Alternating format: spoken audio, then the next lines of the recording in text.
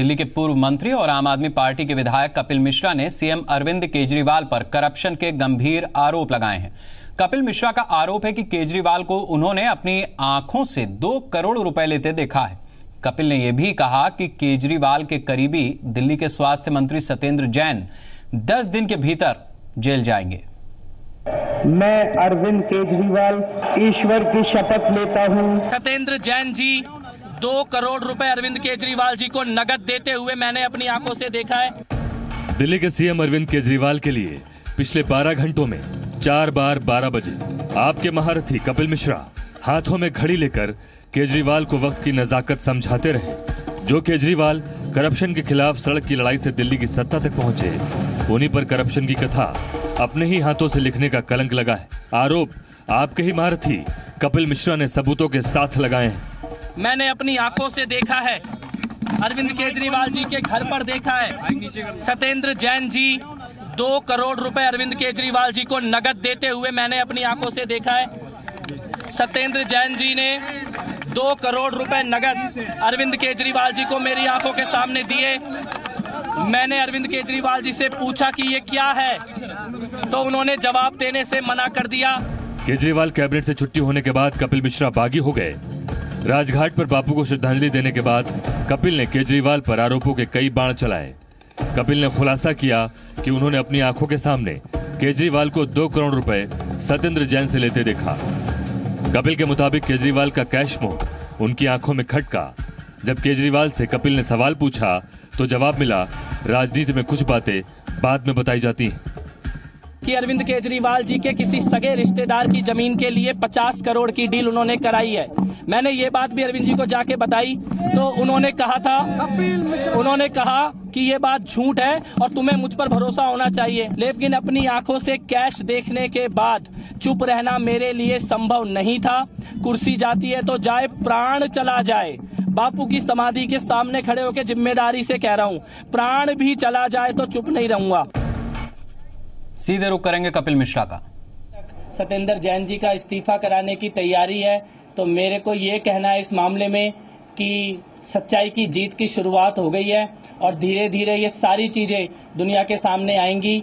एक चीज़ जिससे मेरी सच्चाई और झूठ का पता लगेगा, अगर सत्येंद्र जैन जी गिरफ़्तार होकर जेल जाते हैं तो कपिल मिश्रा की सच्चाई दुनिया के सामने आएगी और सत्येंद्र जैन अगर पाक साफ़ होकर निकल जाते हैं तो ये मान लिया जाएगी, कपिल मिश्रा ने झूठ बोला है।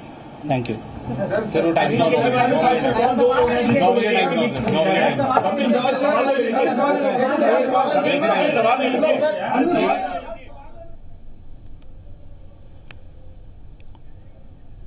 तो ये आप सुन रहे थे कपिल मिश्रा को जिन्होंने एक बार फिर दिन में जो बात कही उसी को शाम को दोहराया और पुख्ता तरीके से दोहराया है कि अगर जिस बात को वो कह रहे हैं उसमें तथ्य न साबित हो तो उन्हें झूठा मान लिया जाए।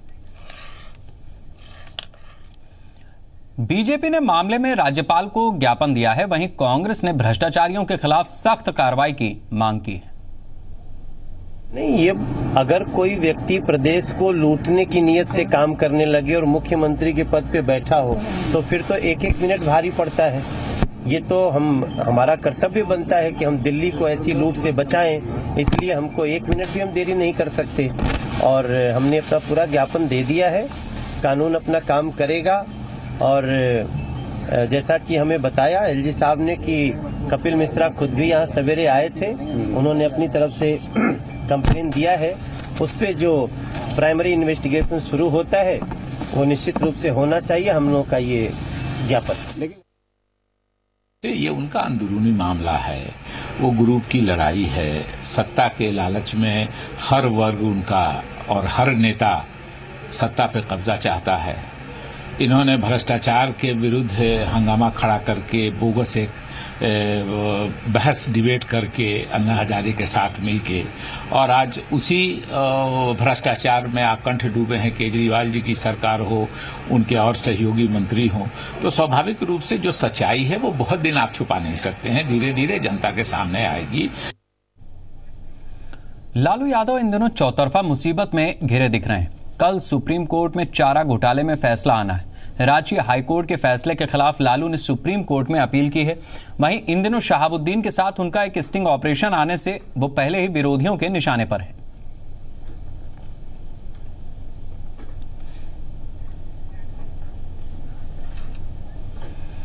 एक टेलीविज़न चैनल पर राष्ट्रीय जनता दल के अध्यक्ष लालू प्रसाद यादव और जेल में बंद आरजेडी के बाहुबली नेता शहाबुद्दीन की बातचीत का टेप सामने आने के बाद बिहार की राजनीति में तूफ़ान खड़ा हो गया है। खुलासे के बाद बीजेपी नेताओं ने बिहार में राज्यपाल से मुलाकात की।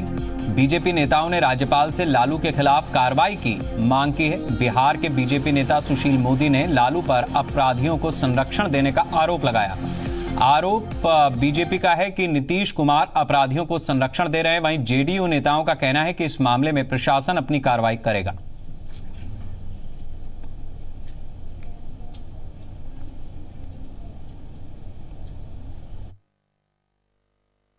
लोगों ने राज्यपाल को मिलकर एक ज्ञापन दिया है।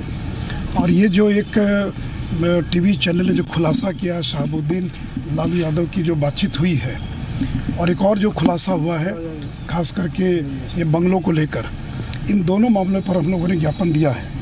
और उनसे हम लोगों ने मांग किया है कि शहाबुद्दीन लालू यादव की टेलीफोन से बातचीत के मामले पर अविलंब डीजीपी और मुख्यमंत्री को बुलाकर उनसे पूरी जानकारी प्राप्त करें और केंद्र सरकारों को एक रिपोर्ट दें। वो साथ ही साथ बिहार सरकार को यह भी निर्देश दें कि लालू यादव पर अपराधियों को संरक्षण देने, उनसे सांड काट रखने के आरोप में उन पर मुकदमा दर्ज किया जाए।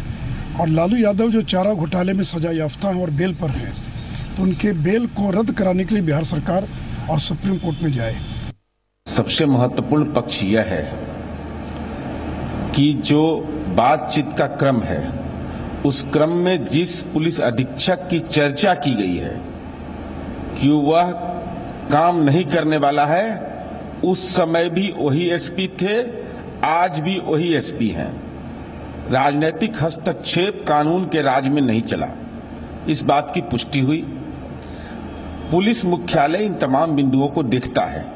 ये उनका विषय है, उनके क्षेत्राधिकार में है कि जेल परिसर से कोई व्यक्ति कैसे बात कर रहा है। लालू शहाबुद्दीन टेप कांड पर बिहार में सियासी बवाल थमने का नाम नहीं ले रहा। टेप कांड पर लालू के बचाव में उनकी पार्टी की पूरी फौज उतर चुकी है। आरजेडी नेता रामानुज प्रसाद ने पूरे मामले की जाँच की मांग की है। वहीं जेडीयू ने लालू के फ़ोन टैप कराने के आरजेडी नेताओं के बयान को गलत बताया। लालू शहाबुद्दीन टेप कांड पर महागठबंधन में बवाल। आरजेडी नेता ने अपनी ही सरकार पर उठाए सवाल। लालू के फ़ोन टैपिंग करने पर अपनों से घिरी सरकार। लालू शहाबुद्दीन टेप कांड सामने आने के बाद लालू यादव पर चौतरफा वार जारी है। लेकिन इस बीच आरजेडी के नेता अपने सुप्रीमो के बचाव में सामने आ गए हालाँकि रामानुज प्रसाद के उस बयान के बाद महागठबंधन में तलखी बढ़ गई है, जिसमें उन्होंने कहा है कि महागठबंधन सरकार में लालू के फ़ोन टैप हो रहे हैं तो यहाँ कोई सुरक्षित नहीं है। सरकार को इसके पूरी तत्परता से और गहनता से जाँच करनी चाहिए। ये बड़ी गंभीर मामला है। गंभीर मामला है कि साहब बातचीत लीक हो रहा है। इतने वरिष्ठ नेताओं का टेप हो रहा है। पहले तो किसी ने टेप किया, रिकॉर्ड किया। तो ये रिकॉर्ड किसने किया? आरजेडी नेता रामानुज प्रसाद के इस बयान को जेडीयू ने खारिज किया है। देखिए आदरणीय रामानुज प्रसाद जी ने जो आरोप लगाया सरासर गलत है। सरकार क्यों आदरणीय लालू प्रसाद यादव जी का टेप कराएगा? महागठबंधन के बड़े नेता आदरणीय लालू प्रसाद यादव जी ये लोग कुछ लोग जो तथाकथित लोग जो आरजेडी में है ये महागठबंधन में दरार पैदा करना चाहते हैं। लालू शहाबुद्दीन टेप कांड के बाद एक बार फिर महागठबंधन के नेता आपस में उलझते नज़र आ रहे हैं। ये कोई पहला मामला नहीं है। इसके पहले दर्जनों बार भी महागठबंधन के नेता आपस में उलझ चुके हैं। लेकिन इस बार मामला गंभीर है, क्योंकि सवाल महागठबंधन के सबसे बड़े दल के सबसे बड़े नेता पर लगा है। Ashutosh Chandra, Zee media, Patna. Shivpal और अखिलेश के बीच जुबानी जंग के बीच मुलायम सिंह यादव का बड़ा बयान सामने आया है। उन्होंने मैनपुरी में समर्थकों के बीच ये कबूल किया कि 2012 में अखिलेश यादव को सीएम बनाना उनकी बड़ी भूल थी। पहले पार्टी और परिवार में सिर फुटौल और फिर विधानसभा चुनाव में मिली करारी हार के बाद समाजवादी पार्टी के संरक्षक मुलायम सिंह यादव का दर्द आखिरकार रविवार को बाहर आ गया। मैनपुरी में समर्थकों से सीधे रूबरू होते हुए मुलायम ने कहा कि 2012 में अखिलेश को सीएम बनाना उनकी बड़ी गलती थी।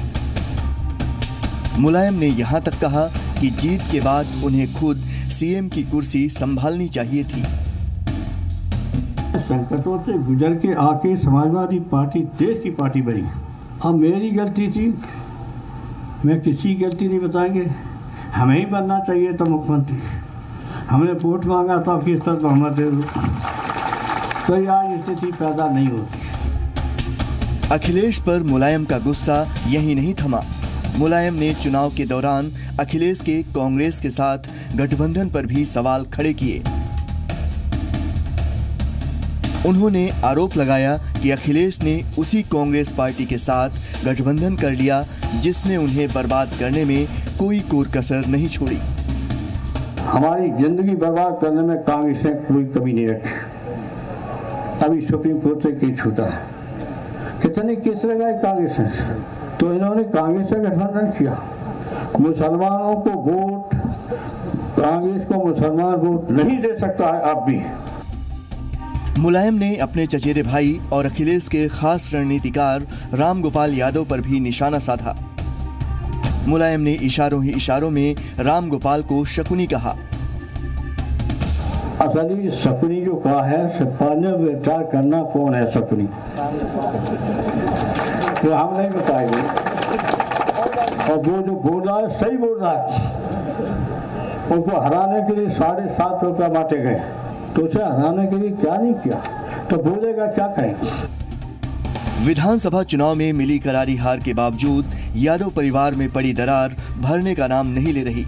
हाल ही में मुलायम के छोटे भाई और अखिलेश के चाचा शिवपाल ने अलग मोर्चा बनाने का ऐलान किया है। उधर मुलायम के बोल भी अब अखिलेश पर बिगड़ने लगे हैं। समाजवादी पार्टी का गृह कलेश थम नहीं रहा है। मुलायम सिंह का गुस्सा और दर्द एक बार फिर सबके सामने आया है। अब देखना यह होगा कि अखिलेश यादव पिता मुलायम सिंह यादव के इस बयान को किस तरह से लेते हैं। आशुतोष मिश्रा के साथ नीरज मिश्रा इंडिया 24/7 लखनऊ। लखनऊ में बेखौफ बदमाशों के सरेआम महिला को गोली मारने की सीसीटीवी तस्वीरें सामने आई हैं। महिला होटल में खाना खाकर बाहर आई कि पहले से घात लगाकर बैठे बदमाशों ने उस पर फायरिंग शुरू कर दी। वहीं महिला को बचाने आए गार्ड को भी बदमाशों ने गोली मार दी। गोली लगने से गार्ड और महिला गंभीर रूप से घायल हो गए हैं। घायलों को ट्रॉमा सेंटर में भर्ती कराया गया है। दरअसल, कृष्णानगर इलाके के स्काई हिल्टन होटल के बाहर मोनिका सिंह पर बदमाशों ने कार में बैठते समय गोली मार दी। इसके बाद महिला ने बदमाशों का सामना किया, लेकिन इसी बीच बदमाशों की चलाई गोली महिला की गर्दन में जा लगी। महिला को बदमाशों से उलझता देख होटल के गार्ड ने बहादुरी दिखाई और बदमाशों से भिड़ा तो बदमाशों ने उस पर भी गोली चला दी। फायरिंग की आवाज़ सुनकर तमाम लोग मौके पर पहुँचे तो बदमाशों को भागना पड़ा। बताया जा रहा है कि महिला के पति ने ये बहुत हरामी है किराए का शूटर भेजा था। वहीं मामले की गंभीरता को देखते हुए पुलिस जाँच कर रही है। नीरज हमारे साथ जुड़े हुए हैं, हमारे संवाददाता। नीरज, बताइए कि दोनों घायलों की स्थिति कैसी है और पुलिस अब तक कहा, क्या कार्रवाई कर पाई है? देखिए, ये कृष्णा नगर का पूरा मामला है। यहाँ पर जब महिला अपने खाना खा के होटल से बाहर निकल रही थी, तभी दो शूटर जो इसके पति ने, इन शूटरों को हायर किया हुआ था, ये एक बाहर के पूर्वांचल के शूटर हैं और काफ़ी नामी शूटर बताए जा रहे हैं। इन लोगों ने गोली चलाई है महिला के ऊपर और उसके बाद ये फरार हो गए हैं। फ़िलहाल महिला बोल तो नहीं पा रही है, लेकिन उसने लिख के ये बताया है कि हमला उसके पति ने कराया है, क्योंकि एक साल पहले महिला की फेसबुक के ज़रिए उस युवक से शादी हुई थी जो इसका पति है। और उसके बाद से ये पूरा विवाद इसका चल रहा है और अब इसने ये हमला कराया है तो फ़िलहाल पुलिस इसके पति को और जो दोनों शूटर हैं, जिनकी पहचान भी हो चुकी है, उनकी तलाश कर रही है और बहुत जल्दी माना जा रहा है कि इन सभी को अरेस्ट करके पुलिस सामने लाएगी। शुक्रिया इन जानकारियों के लिए। केंद्रीय वित्त मंत्री अरुण जेटली ने एशियन डेवलपमेंट बैंक से विकासशील देशों की जरूरतों और मांगों पर ज़्यादा तवज्जो देने को कहा है। एडीबी के अध्यक्ष टिकैलो नायको ने मुलाकात के दौरान उन्होंने ये बात कही, वित्त मंत्री ने जापान के वित्त मंत्री टारो आसो के साथ बैठक की। वित्त मंत्री ने मेक इन इंडिया कार्यक्रम के बारे में बताया और जापानी कंपनियों को भारत में मैन्युफैक्चरिंग यूनिट लगाने के लिए न्योता दिया। खासकर मेट्रो रेल प्रोजेक्ट्स और रोलिंग स्टॉक्स लगाने के लिए वित्त मंत्री ने जापानी कंपनियों को आने को कहा। Arun Jaitley Asian Development Bank की सालाना बोर्ड ऑफ़ गवर्नर्स की बैठक में हिस्सा लेने के लिए जापान गए। सरकार जल्द ही महिलाओं के लिए नेशनल पॉलिसी लाने की योजना बना रही है। इस पॉलिसी के तहत सिंगल महिलाओं को ज़्यादा टैक्स की छूट देने की योजना बनाई जा रही है। आधार कार्ड से जोड़कर दिए जाएँगे गर्भवती महिलाओं को फ़ायदे। इसमें मुफ़्त हेल्थ चेकअप और कैशलेस मेडिकल सुविधाएँ देना शामिल है। आपको बता दें कि मंत्रियों का एक समूह बना रहा है पॉलिसी और समूह की अध्यक्षता कर रही हैं विदेश मंत्री सुषमा स्वराज। 2001 से 2011 तक सिंगल महिलाओं के आंकड़े में उनतालीस फ़ीसदी की बढ़ोतरी हुई। इस पॉलिसी में महिलाओं के लिए ज़्यादा शौचालय बनाने पर ज़ोर रहेगा। साथ ही उत्पीड़न का शिकार महिलाएँ मुफ़्त मेडिकल सुविधा का लाभ उठा पाएँगी।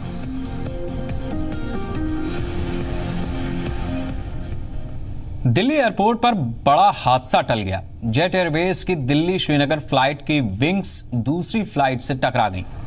यह हादसा उस वक्त हुआ जब जेट एयरवेज की फ़्लाइट श्रीनगर के लिए टेक ऑफ़ कर रही थी। सभी यात्री सुरक्षित हैं।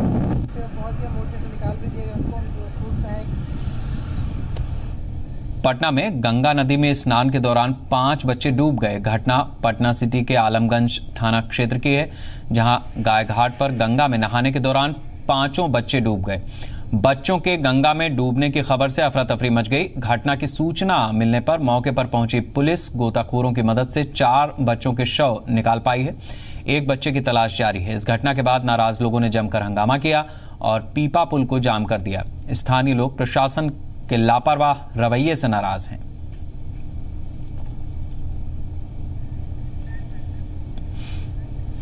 क्या आपने कभी पानी के भीतर चेस खेला है? या फिर कभी पानी के अंदर साइकिल चलाई है, अगर नहीं तो तैयार हो जाइए, क्योंकि गर्मी के मौसम में आप अपने सभी मनपसंद स्पोर्ट्स पानी के अंदर खेल पाएँगे और इसकी शुरुआत हो चुकी है, मुंबई के अंडर वाटर फेस्टिवल में। मुंबई में शुरू हो गया है अंडर वाटर फेस्टिवल, एक ऐसा फेस्टिवल जो अपने आप में नया है। तपती धूप और गर्मी के इस मौसम में अगर पानी के अंदर ही सारे खेल खेलने को मिल जाएँ, तो भला इस पानी से बाहर कौन आना चाहेगा? इंजीनियरिंग के दो छात्रों की ये सोच जब पहली बार पुणे में साकार हुई तब नोटबंदी के बावजूद लोगों का ज़बरदस्त रिस्पॉन्स मिला। अभी अंडर वाटर फेस्टिवल मुंबई में आयोजित किया गया है। इसमें दिव्यांग पार्टिसिपेंट भी हैं। हमारा फेस्टिवल कम्प्लीटली डिसेबल्ड फ्रेंडली है।